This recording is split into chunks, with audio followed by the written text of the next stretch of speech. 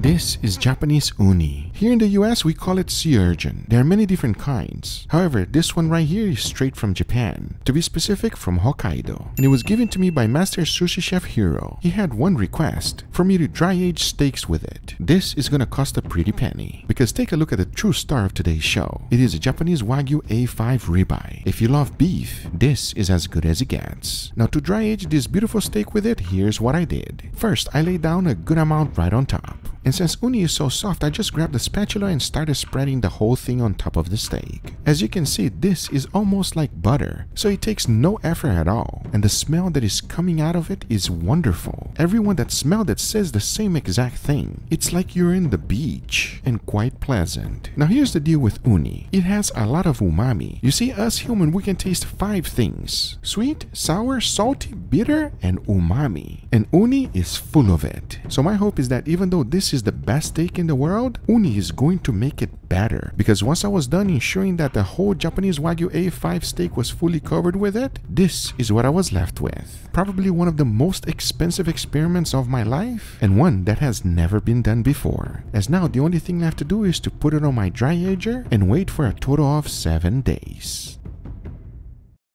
Once the time was up, I took it out and take a look. Everything has completely changed. You can clearly see that the uni is no longer uni, and it actually had a good effect on the steak. Because take a closer look, nothing has been oxidized. Now like every dry aging experiment, the first thing to do is to remove the unnecessary stuff. And since the uni did its job already, it's time to get it out. Using a tweezer first, then a fillet knife, that allowed me to go ahead and scrape it out. Now one of the things that you can't experience is the smell. You're probably thinking this probably smell fishy. No, no, no, no, no, no, no. It smells wonderful, but not until I discovered the bottom. Take a look at this. Nothing was really dry aged in here, and the smell of this one is not as pleasant. But hey, here we are and I still have high hopes, because once I was done cleaning the whole steak, this is what I was left with. The world's first Uni Japanese Wagyu A5 dry age. It seems like it was a punching bag from Mike Tyson. I don't understand why some parts are brown and the other parts are red. If you do, let us know in the comments. Now one of the things you cannot experience was the fat. This was like melting butter. As you can see, the outer crust still had a little bit of uni left. So I made the decision to go ahead and remove all the unnecessary stuff. I really wanted this steak to have the best experience because once I was done cleaning the whole thing up, this is what I had left. Even though it's much smaller, every bite should be perfect. That is what you're looking for whenever you're cooking high quality steaks like this. Perfectly trimmed and ready to be grilled.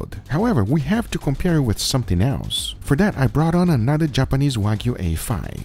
Putting them side by side, you can really tell the differences. I have no idea what's about to happen, but I can honestly tell you one thing. I cannot wait to find out which one is gonna be better, and most importantly, if the Uni Dry Age experiment is actually worth it. Because the only thing left is to go ahead and get them seasoned. For that, I wanted to keep it real simple. A good amount of salt followed by freshly ground black pepper and nothing else. This will allow us to really taste the flavor of the steak, and I'm hoping it's gonna be real good. But just in case it's not, I decided to make an incredible side dish for us. And this is Chef Hiro's Japanese potato salad recipe. And to make it, it is quite easy and here's how. The first thing you want to do is to slice up some cucumbers real thin. Once that's done, add in a little bit of salt, followed by water, and let it sit for a little bit. Because the whole goal of doing this is to extract as much moisture from it as possible. Similar thing happens with an onion. And the key with this one is to wash it really good. Now what this does is remove all the bitterness. For the carrots, you just want to boil it until you are happy with the consistency. Because the next step is to go ahead and boil some potatoes. Once they're done, grab your spoon and smash them up. Season it with salt and pepper and mix it well. Now into the bowl, you want to combine the carrots, followed by the extremely dried cucumbers, a tiny bit of that washed and dried onions as well, and some prosciutto ham.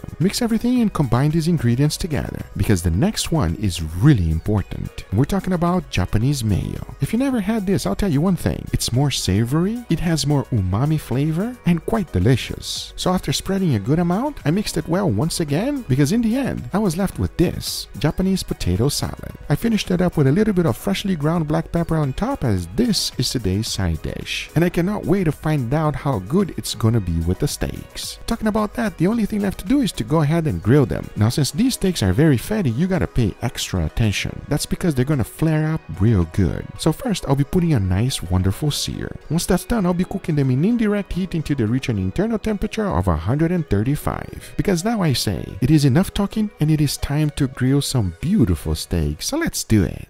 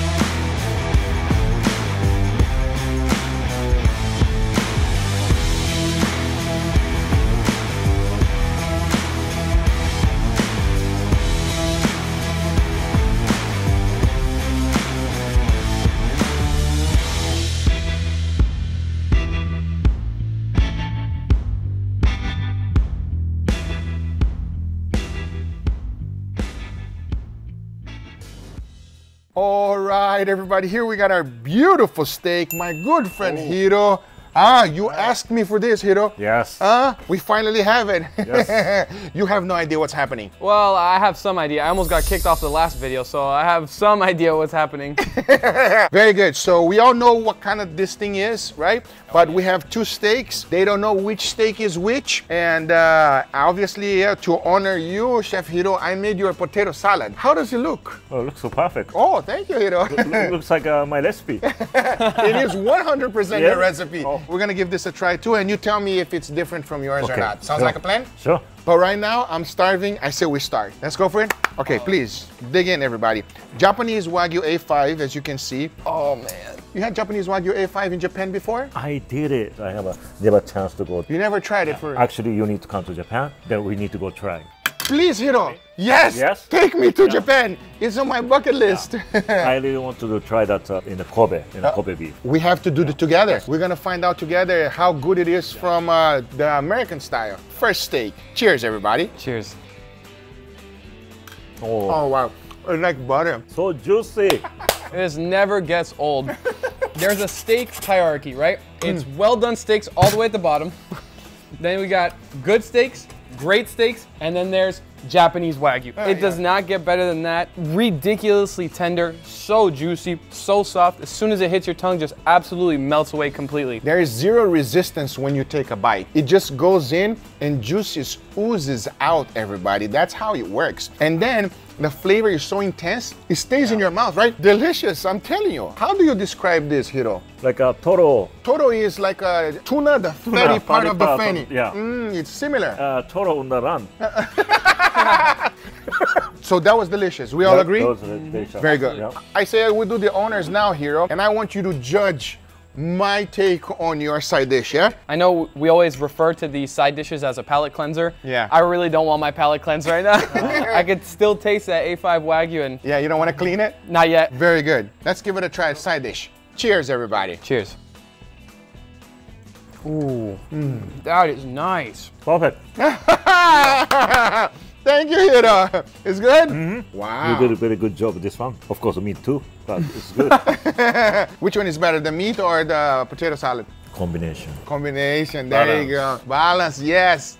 Bro, oh, like this. like- yeah. It has a little tangy because of the Kewpie mayo. It leaves a wonderful taste in your mouth. What do you think, Leo? I love this side dish so much. I think the hot and cold combination with the steak and this potato salad combines perfectly. It's very delicious. Like you're saying, it is a little bit tangy. It is more savory, I think, than a normal uh, potato salad, which personally I love. And I think there's some veggies here. I don't know if it's like cucumber or something. Yeah. Gives it a little hint of, of light and freshness that just brings it all together. It's absolutely perfect. I love this. Very good. Let's, I say we go in for the second steak because I'm excited. You guys ready? Dig in, Hiro. Let's go. Jump in. Now I must say this one feels just as tender, perfectly medium rare as well. Oh, Hiro went already. Oh. Cheers, everybody. Oh. That is incredible. That's really good, everybody. I'm not gonna lie. That's really good. I know that this is the uni dry age, and you can tell that it did definitely absorb some of those uni flavors. It doesn't taste tremendously like uni, but you do have a little bit of the, the subtle hints of it, and I do get a little bit of bitterness, a little bit of saltiness. It's incredible. I don't know if you guys saw the dry age experiment that I did with MSG, which squeezes my cheek when I was chewing the MSG dry age. This one is doing the same exact thing. Did you enjoy that flavor in your mouth or Oh, no? Oh, yeah. Oh, yeah. I like it. Which one do you like better, the control one or the second one? I like uni one. Uni one. Huh? I'm in agreement, you. Me too. It's the uni. So let's make it official here. Which one is better? Uni. Uni. Only dry age is better, everybody. Anyway, guys, these are the results. Thank you so much for coming, Hiro. Thank you for giving me the uni to give it a try. This was an amazing experiment, and this would have never happened if Hiro did not give me that uni, everybody. Highly recommend you going checking out his channel. I'm going to put it under the description down below. Not only is he a wonderful friend, but an amazing chef. Go check him out. I hope you guys enjoyed this video. If you did enjoy it, hit that thumbs up. If you're not a subscriber, be sure to subscribe for future videos. Remember, if you're interested in anything I use, everything is always in the description down below. Thank you so much for watching. We'll see you guys on the next one. Take care, everybody. Bye-bye.